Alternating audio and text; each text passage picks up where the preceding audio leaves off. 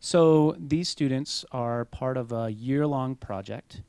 Um, a year ago, I received a grant from a group called Fund for Teachers, and they basically allowed me to design my own learning experience. And what I did was I flew to Florida and I got my scuba certification and I volunteered with a group called the Coral Restoration Foundation.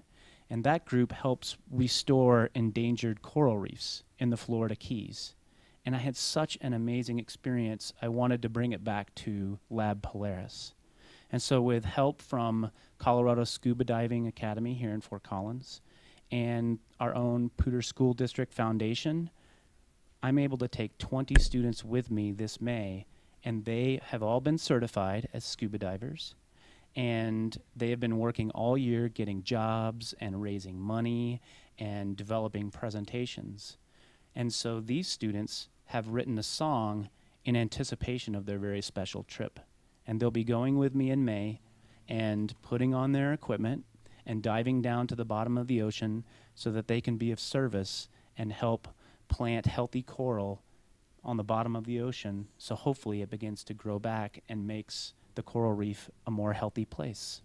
So they've written an original song and it's called Finding the Wrong in the Light and we're going to let them take it away.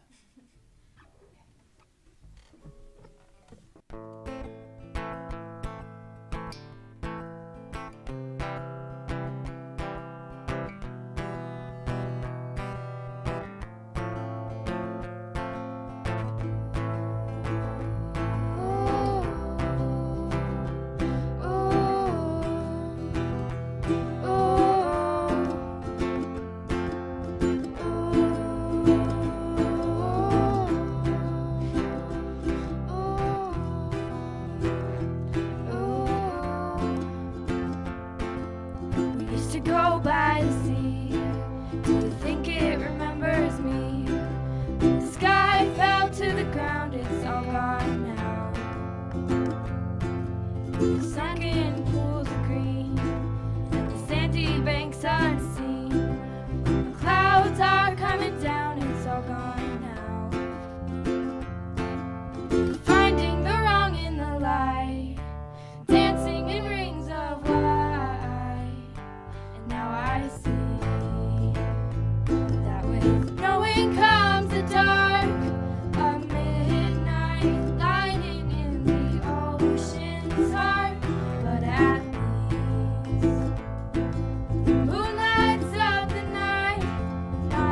Not